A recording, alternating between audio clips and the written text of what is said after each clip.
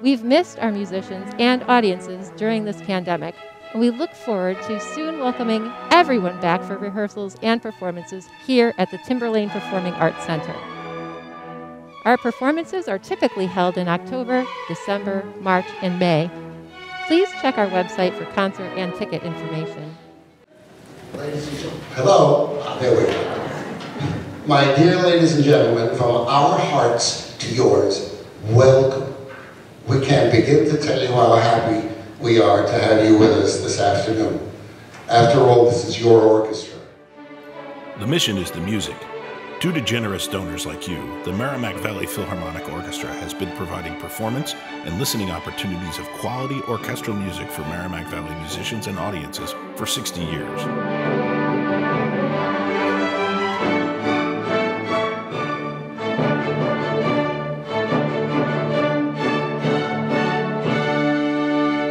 This Giving Tuesday now, please consider a gift to continue the essential work we are doing.